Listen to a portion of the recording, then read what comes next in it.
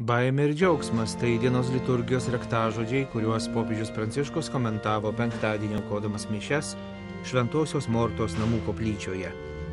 Baimė žmogų kausto, paralyžiuoja, padaro mažą ir silpną.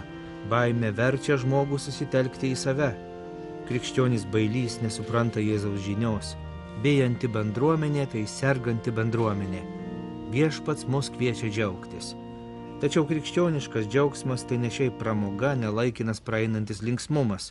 Krikščioniškas džiaugsmas yra dovana, kurią mums duoda šventoji dvasia. Ci sono comunità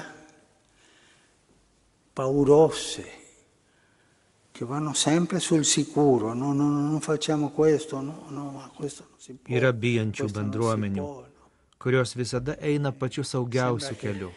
To nedarysime, to negalima, ano negalima. Tarsi ant jų durų būtų parašyta draudžiama.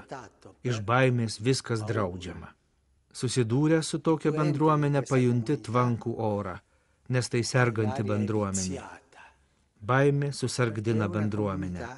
Drąsos stoka susargdina bendruomenę. La paura ammala una comunità.